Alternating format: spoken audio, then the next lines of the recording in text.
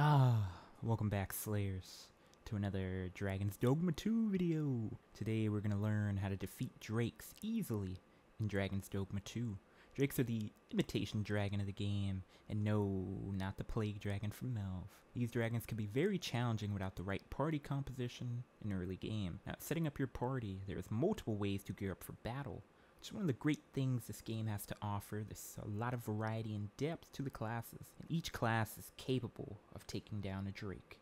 More commonly and easy, early, is hiring a Thief pawn as you'll see us bring because thieves deal massive damage using fast attacks. In this example here, you'll see that as soon as the heart is exposed, the thief is doing just about 2 HP bars on its own, with me as the Mystic Spear hand doing little attacks here and there. Now the main goal when fighting drakes or exposing their heart as quickly as possible, we can achieve this by bringing the fight to them with an onslaught of heavy damaging options like sorcery magic. So of course bring one of those too. And on your sorcerer it'd be nice to have Augural Flare. This will create an orb around the target, in this case the heart, allowing for even more possible explosions. Now after a set period of time of not attacking, the orb will disappear, so that's why the thief is here for their fast attacks to proc the explosion.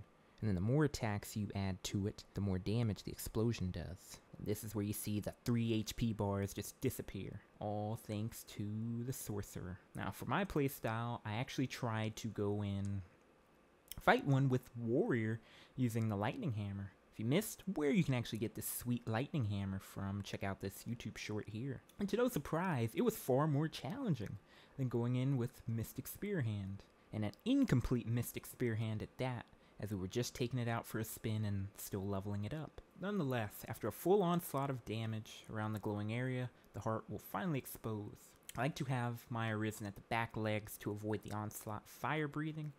Do watch out for tail whips though, as those can be deadly, as well as the dragon's slam attack from landing when it periodically hovers. Major emphasis on onslaught of damage. You don't want the dragons to start doing funky things like summoning lightning, even floating in the air and dealing different range of fire damage. Nonetheless, once you survive the onslaught, if enough damage is dealt or a heavy blow, the dragon will fall to its side, heart fully exposed. Hired thief or yourself full burst heart, and guess what? You just defeated your first drake. To note, Carve and Twin Fangs are your best friends. Simple core skills on the thief make this the best burst damage in the early game on weak points. Pawn comps vary, and every class can do good against a Drake, it just may take longer. For maximum efficiency, two Thieves, Mage for healing, and a Fighter or Warrior to tank hits and hold aggro. But of course, you are free to use all else as you please, so feel free to experiment and let me know what you prefer down below. Found anything useful, make sure to spank! That like button and subscribe as Ty1slayer creates educational content all the time.